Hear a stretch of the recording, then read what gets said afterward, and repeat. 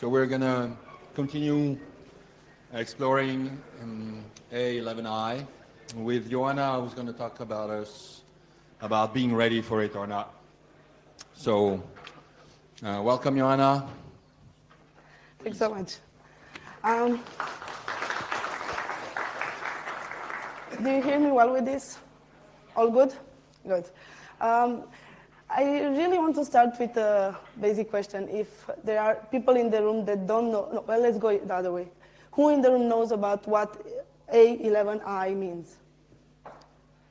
Okay, I'm glad. I chose this not to put on the spot the ones that don't. Uh, it's really not a problem. Literally, yesterday, one of my colleagues working in tech asked me what's that test about, and I was like, did you even like try to Google it first before asking? Paid job, I mean. Um, I like this, um, whoa, this is fast. I like this title it's not a bug, definitely a feature, because probably, you know, the developers uh, have, tend to have this reply when the QA says, oh, I found a bug. And they are just nice enough to like, it's not a bug, it's just a feature. And I really want uh, for you all to treat accessibility, which that stands for A11y, accessibility, treat accessibility like something that has to come, uh, like a feature implemented by the default, and it's not a bug, definitely not an enhancement. I'll mention that about uh, more uh, in the talk. Who am, I, who am I and why I'm here? Um, my name is Ioana Chiorean. I tend to reply also to Luana, Iona, any other kind of version of my name. Um, slightly, I embrace more Luana because it has an Hawaiian tint of feeling, and who doesn't like Hawaii? It's such tropical, not raining like this, warmer, more. I'm a project management at this point, a former QA team lead, quality assurance, and I lead four projects uh, as a contractor for Mozilla in Cluj, Romania. Yes, that's the heart of Transylvania. I took my blood in the morning, I'm not gonna buy it. I have, uh, literally, I have to change the slide. I have uh, almost 10 years. Next month, I'll make 10 years since when I started volunteering with Mozilla. And uh, I do other volunteer with the European Commission, especially I want to mention because we are in Brussels. Code Week, it's an initiative to teach more people to be literate in digital skills. Not everyone has to learn how to code, but everyone has to understand how the computers work because, want it or not, we are going to have more of those coming in the future. And I work for devices with more than 10 years. Not happy about that, but we'll see. Um, Sara Hendren had a really nice uh, quote that I posted right there. At the course of our life, we traffic between relative independence and dependence. And I really agree with this because even if we are considered lucky and we have pretty much everything we need daily, we do face situations in which all of our, um, all of our um, good sides or everything that are considered perks of living in a nice European city maybe will definitely go under uh, even when you go with a metro or you travel for something else or you have colleagues that you work for from different countries. And it doesn't matter if at a certain point uh, we are used to everything good, we have to also be prepared for something changing. In this world, there are 1 billion people having a certain disability. It means, means 50% of the entire world, and it's not a joke. And more than 2 million people have a very significant disability. What I mean here is that I will be the first to accept I have no disability visible, I have no disability on paper, but I do have issues when I tend to write and I, uh, write, read, and I'll show an example. Even if I'm tested, my name is the blind one translated, but I see well, officially. But some people tend to miss the part that slightly on the screen we display things differently, and they do not test it for um, um, accessibility issues. Welcome. I want to ask you if any of you sees the error on the screen for the, from the start. Good. Can you tell me what it is?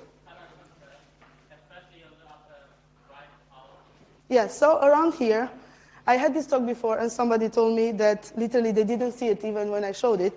So this is a column, it's a line where the column have titles, but you can barely see it. This was from a page of conference that has tickets more than 1.k euros for the conference. And they expect people to go and buy it, right? I wasn't able to see what I'm buying for. And again, it was a well-paid conference, was nothing made by a, I don't know, developer trying to do a project from himself. We expect like to see. And I'm not going to even mention. Their reply was, um, Can you tell us more? We don't understand what you mean. And I literally wrote the guy, Ronan, I don't understand what the columns are. I need to change, to use inspect and change the behind color to understand what you're selling to me. And it's about money. And you won't attend this to your conference, right? And uh, again, officially, I have no disability, no vision impairment, no problem with my eyes. Well, we never know these ones, right? Um, so yeah, we kind of realized that some issues are around there, but how could we fix it?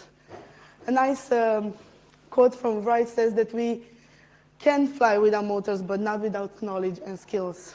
If you don't know how to control the motors, we probably end up in a not a good position. So let's talk about what does it mean, accessibility in form of um, disabilities. Welcome.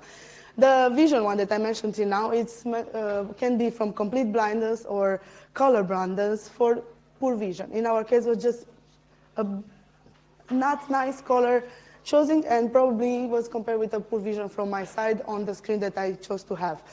And um, also flashing elements will definitely cause stroke to some people. You probably know uh, there are many mentioned till now and try to avoid them if possible.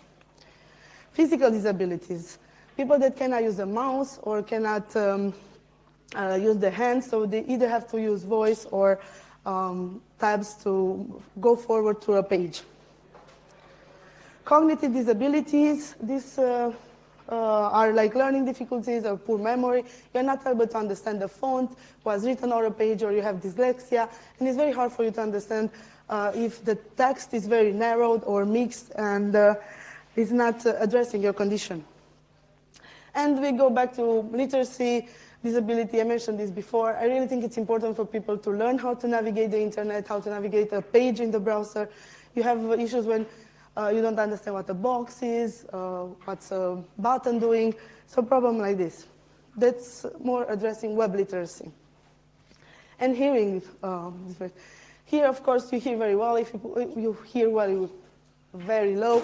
And um, if you have a song or your um, web is trying to communicate something, most of the people will not be able to uh, hear it. But we are here because we really believe that the web, at least Mozilla stands for this, the web is for everyone, and it's our job to make it available for them. And uh, more and more, we tend to use automatic things, we tend to use devices, and even if you're not talking about smartphone, when you go to pay maybe at a marketplace, you can go now and uh, choose to pay by yourself without any interaction with a human, or if you want to go and buy a ticket for the bus, not very friendly here in Brussels, just saying I was not able. Um, you definitely need to have some skills in reading those things and need to access uh, to approach more accessibility. How many of you try to buy something online and the button is too small for your cute little fingers? Yes. How many of us zooms like this to see something there because they are not? Yes. Again, I'm called the blind one, so I take all this on me. Everyone else is perfect in the room. I'm not. I was mentioning that we need to do this. And we're asking, okay, Joanna, it's nice, but why? Literally, the first thing that I wanted to put on the page is because of the people. Again, like um, I mentioned before, the audible part. It's literally, if someone is whispering to you and don't understand, you cannot do, do anything else. Also, like, um, you want to try more things, you go in new countries, you're really limited. Um, it was literally a, um, an example here. This is not my laptop. Fortunately, this is it. And I wanted to borrow one of my colleagues, it was all in German. I knew everything in the browser, even in German, because I'm used to it. But if somebody else will try to use it, not having a knowledge of the browser nor the language was not that easy for them. And um, I also wanted to show you some examples because you probably see like, oh, if I don't have any disability, I'm 100% safe on, the, on this side. A real life example would be the wheelchair ramps. You know, any um, institutions from the state or government should have the ramps for disabilities or the sidewalk. When you go down from a sidewalk, cross a street and go up, they should have those little ramps. How many of you use those with bikes? Don't be ashamed, like we all do, if you don't have bike lanes. You, how many of you saw moms with babies in strollers using them? Do they have disabilities? Do you think a cute mom with a little baby has a disability? It's not. I'm seeing you. It is not. So things like this really, even I when I run, I don't want to go from like this to this and have an impact. I tend to use the ramps more and more. So again, situation where you don't consider yourself disabled, but you use things that are addressed to disabled people. Regulation. Everyone here is like, they don't even ask for that, Joanna. What are you talking about? Nobody cares. Well, unfortunately, I'm sad to say that these are the countries that adopted the VG, VCAG. Um, the green ones, you see it here, are still at version one, but they have it. The, um, in pink, they are recommended, and the red ones, which is pretty intense, um, have adopted the 2.0. My colleague had a talk really before this, and he mentioned more about what this regulation implies and how you should implement it as a developer. So if you're saying your country is not, maybe you're from Africa, which is not a bad thing, and I'm glad, but definitely you're to step in and join us in this, or Russia, but I don't know. I'm not to talk to Russia. I'm um, neighbors with them almost, so I'm, I'm friends. Um, or Greenland. If you want to go there, join me. I want to go too. Let's see. Maybe we can implement the terms there. So pretty much all the countries adopted in a way these kind of regulations. So um, there is no excuse. Users. I literally had a talk yesterday, or somebody earlier at the talk mentioned, how can I see if somebody is using the voiceover on my page? How could I know how many users are disabled? Okay, I think there are many tricks on telemetry that you can uh, implement, and they might tell you if something is clicked or not, but it doesn't even matter at this point. Because um, one of the oldest examples in the world with data sets comes from the World War II, when the um, uh, industry was so blooming and they wanted to build everything the next day and beat our uh, competitors, you know. And they decided to look at the planes to put more metal or like make them harder to um, get a bullet on the sides that uh, are more affected. So what did they do?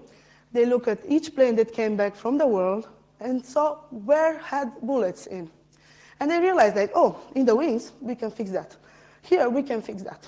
Oh, the tail. We can even take it off. I'm kidding. But the, they didn't see the big problems. These were the planes that returned to the base. Those who got the most affected did not ever return. So those were the problematic ones.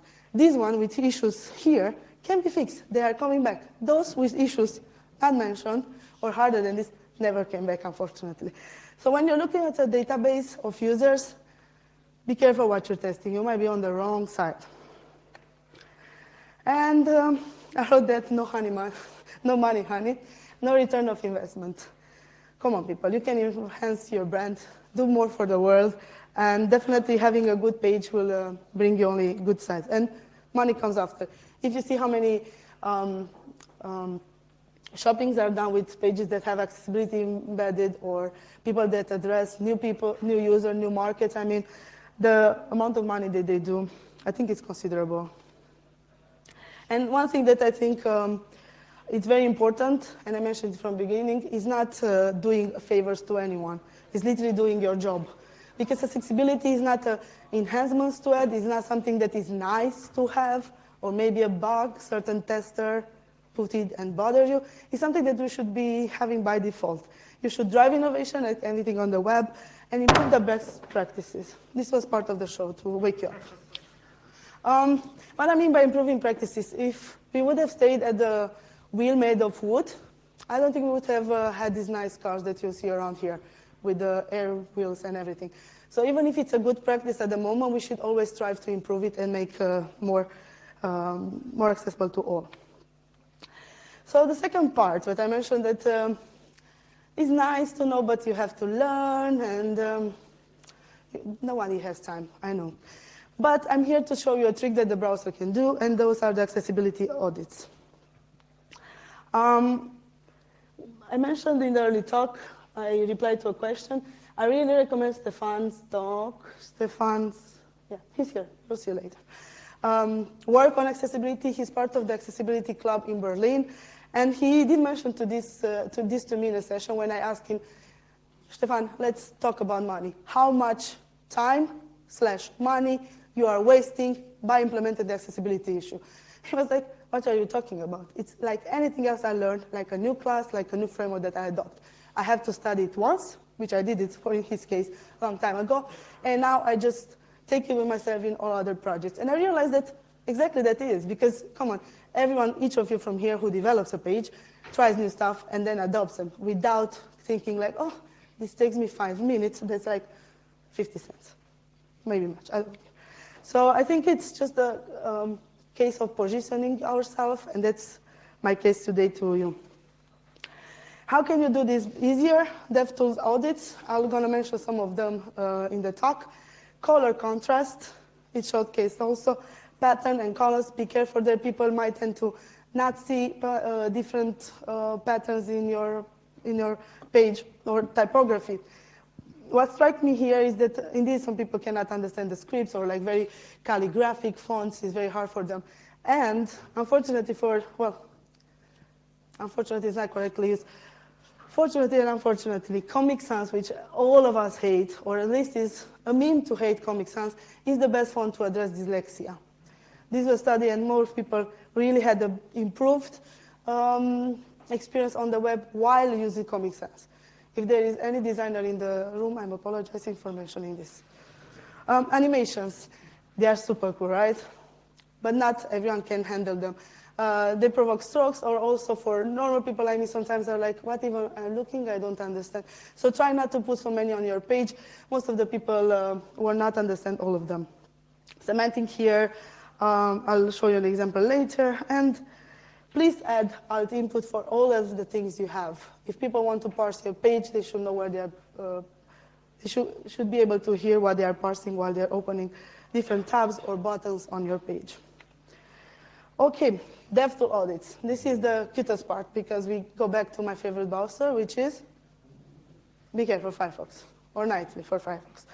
And um, another question earlier in the talk, and I literally address it now, was asking which framework is the best. It really doesn't even matter which framework you choose at the end of the day.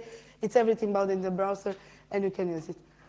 I have to admit, unfortunately, that also other browsers have some things, not only Firefox, but I recommend Firefox. It's easier. And I'm going to open the ARIA tree inspector in a second. And um, that's what made with uh, Mozilla accessibility team, which literally includes people with disability, visual or hearing ones, and physical ones. And uh, being there in the DevTools, we can run a simulation. Let's see if that works. This is the talk. I already opened the, the F12. Um, the accessibility panel. I'm going to just turn on the features and um, move to one of the pages we um, use for, and I have to open it again, of course, for the examples here. And um, as I mentioned, it's just simple simulation. It's already embedded in the browser, and you can choose to check for all these um, three. Of course, all of them, but I'm going to take them one by one so you see the difference.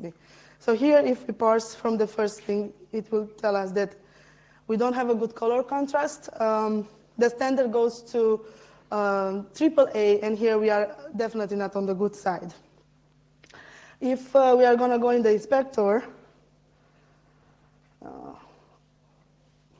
wait, for me it's live coding, so never works from the beginning.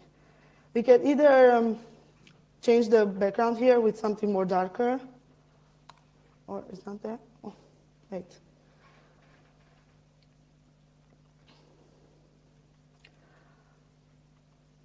And voila, let's run again.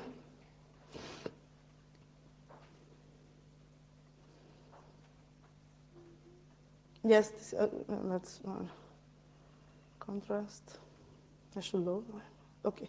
So we fixed that one. Very simple. I know you'll say like black on white is not. This is the minimal I can do like instantly. Of course, your designers or five more minutes from your side will choose a better. There is a tool online which will give you pairings of colors, all mentioned in links in the, in the talk. Or if you want, you can change the, the color of the text here. The second one issue, you see, um, you will say that keyboard, like parsing with a keyboard on your, on your page, will not bring any value back because you're not defined that. And you'll see like, oh, how she knows that? I don't. But there is a link to learn more.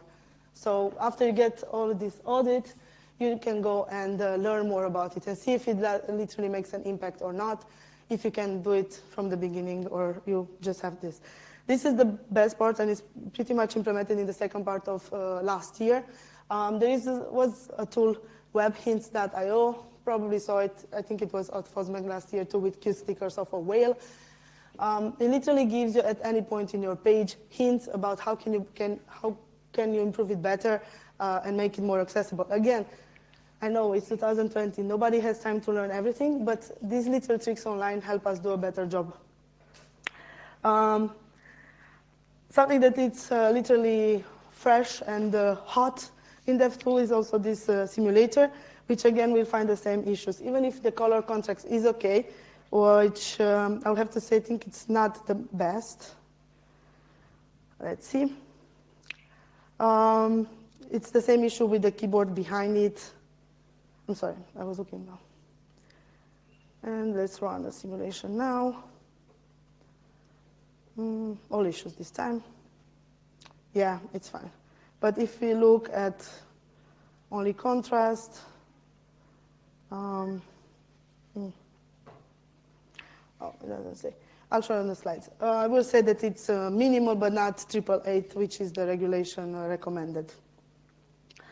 Um, I have this tab, ops, tab open in case of the internet not working because you have to prepare for everything. So. It's um, Okay. Again, I, what I showed is just simple on um, F12, opening the accessibility panel, and you can do there uh, the, the, simulation mentioned. This is what I did before, again, in case of uh, no internet.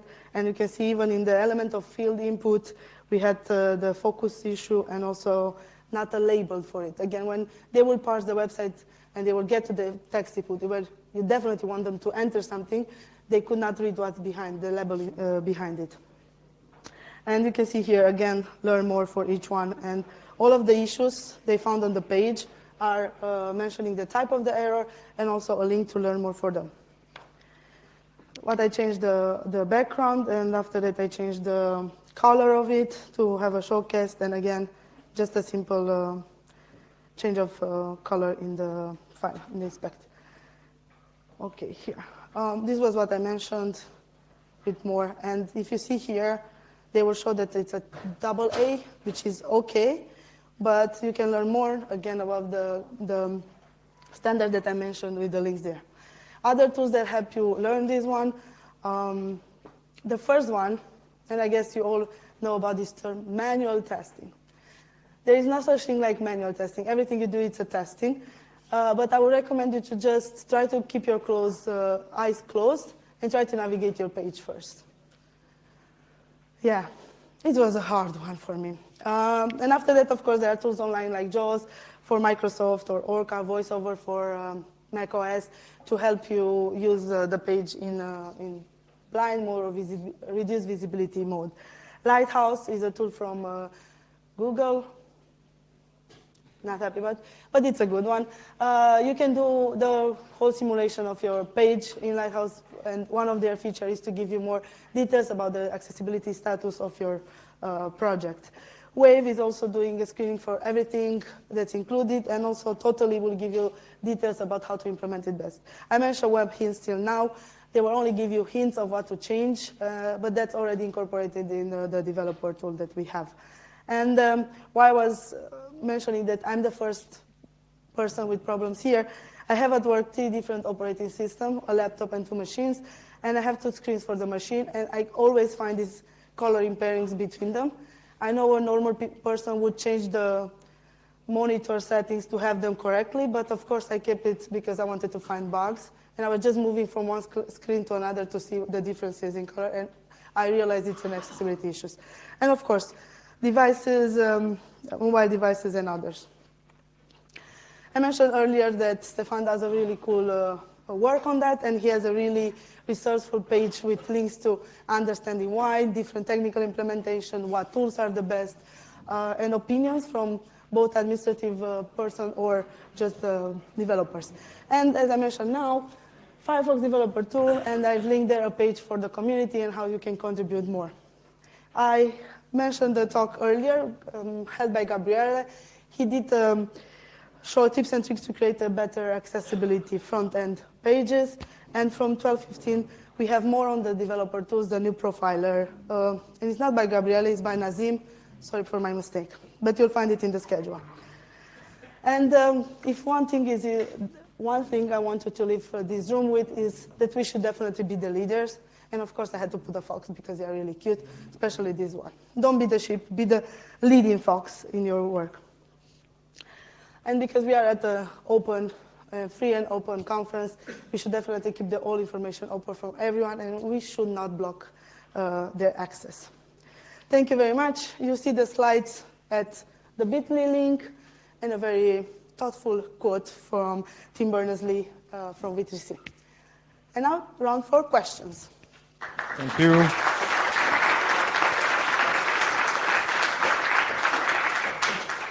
So, questions? I see you. I see you, Lily. I'm kidding. Have a good day. Uh, hi, thank you very much for your talk. Um, I'm from France, and we have a national. Can you speak a bit louder? I'm Sure. Uh, I'm from France, and we have a national guidelines inspired by the WCAG. It's the RGAA. And I had a formation a couple of years ago, and the teacher told us like 40% only of the criteria of this official document on accessibility can be automated, like there can be Yeah. automated criteria. So at, at the time, uh, I understood that it was the case we need human analysis on websites for accessibility. Do you think it's still the case? And just a second question, quickly. quickly. Uh, do you think that the myriad, the, the multitude of tools around accessibility is a bad thing or a good The thing? what? That there are many browser extensions, tools around accessibility, and it feels to me that efforts are sh- split around many projects, and I'm not sure it's the best. What, what are your thoughts about this? So first, uh, uh, to address the automated part, of course there are extensions to change your code and to improve it. I showed a few of them. Also on their side of the users, there are many tools to read the screen, to change the color contrast. Um, I'm always laughing because the library that I use back in Romania has this color brand version of the website, and they literally implemented turning everything in black background and yellow as a right. Like again, we are 2020. Having a page black with written in yellow, it kills my eyes. I'm like downgrading my vision. So that's a, a bad side of it. So indeed, some of the tools can automate this, but it's not in perfect way. And I agree with you when you say that there are too many, and I agree that this is uh, bringing a bad impact because, like everything, having more devices on Android, for example, makes it even harder to have a good page for all of the hardware, all of the screens, all of the manufacturers, everything. Exactly with the same with the tools. Having them so many and dispersed, and not all of them address all of the issues on accessibility.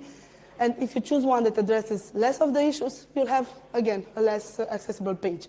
So I think it's a bad thing. Uh, I don't think we're going to end up having just one standard in tooling, but definitely some of them differentiate. And uh, I, I will go with browser tools because, again, you don't need anything to add. They are literally right there for you. And we are moving forward to more web internet, I would say, my opinion. Any more questions? Yes. And that's going to be the last because we need to switch speakers afterwards.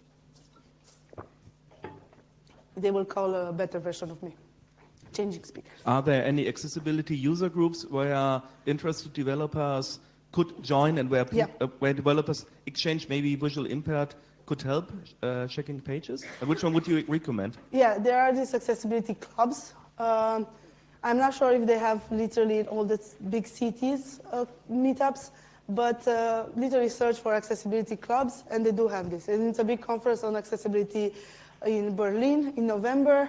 Maybe this year will be another city. Um, at least, even in Cluj, we addressed it uh, in all the front-end meetups, like JS Hero. Um, so yeah, definitely. I can even search for you later if you want to have a specific one.